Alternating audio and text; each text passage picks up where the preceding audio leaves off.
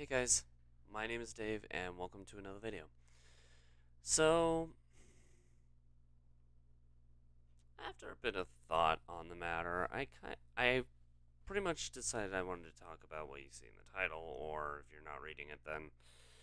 Um, I wanted to discuss my thoughts on emulators. So, for the most part, I can understand why a lot of people Emulators are the kind of thing that if you don't have like the capabilities of like being able to do something like on a TV or on a computer, normally that's when you download an emulator. If you're trying to make it show like on one of those two screens and you have no other way of doing it. But there are some circumstances where, for, for the most part, emulators I'm not really fond of. There are some exceptions to this, though. A good example of this is Hyperkin's Retron series of consoles. Uh, for those who don't know what that is, it's basically. They're consoles that play um, very old school games. For example, this. Of Zelda Oracle of Seasons. Those who watch my second videos each day know that I am actually doing that game currently. I'm doing it through an emulator, but I am actually still playing off of this particular cartridge. That's because of the Retron that I was just talking about a moment ago. Uh, what the Retron is, it's so the one I have plays. It's one console that plays games from Game Boy, Game Boy Advance, Nintendo Entertainment System, Sega Genesis, Famicom, Super Famicom, and Super Nintendo. Very old school, as I said before. But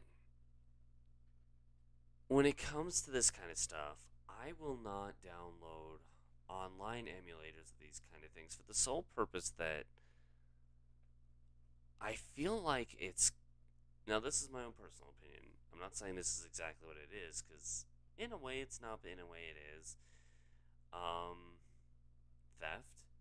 It's I to me in my mind it feels like sometimes it's like stealing from a creator now, if it's an old game that no one pays attention to, like there's actually a game out there called LSD for the PlayStation 1 that was exclusive, I believe, Japanese release only, um, if I remember correctly. If I were to download an emulator for, I believe it was for the PlayStation 1, if I were to download a PS1 emulator and play that, then it wouldn't bother me or if I were to download an emulator for a phone and only for the sole purpose of playing um, games that are for stuff like that, that's fine. The reason I think this is okay is because emulators where you end up paying proper money to the proper individuals who originated the stuff, that's where I think it's okay. That's also why I don't mind uh, the NSO service. Um, Nintendo Switch Online, for those who don't know, by the way. Most of you probably do already, though.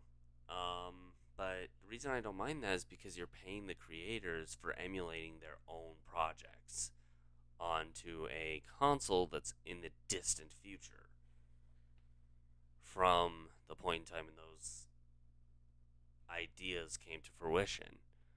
Um, but emulators where it's a third party company emulating a first party thing without consent, and if it's with consent, then they better have a lot of money. But the, those kind of emulations, I don't condone. I don't. I don't agree with. Now, this is just my personal opinion on it. I'm sure there are many people in the world who have a different opinion.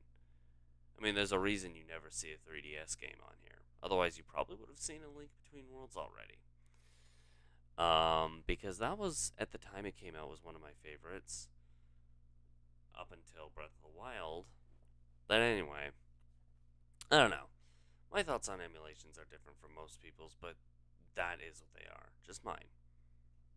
What do you guys? How do you guys feel about that kind of stuff? Uh, let us know in the comments below. Want to check out any other discussion rant type videos? Click the link on the side of my head over here, um, where you'll be able to find uh, quite a few, over 250 at this point. I don't think it's quite 300 yet, though. Um, Want to check out anything that might float your boat a bit more? Click link on this side where uh, the platform will give you a link to something you may enjoy a little bit more than this. In the meantime, though, I'm going to head off. Thanks again for tuning in this video, guys, and we hope to catch all of you in another. See you guys later.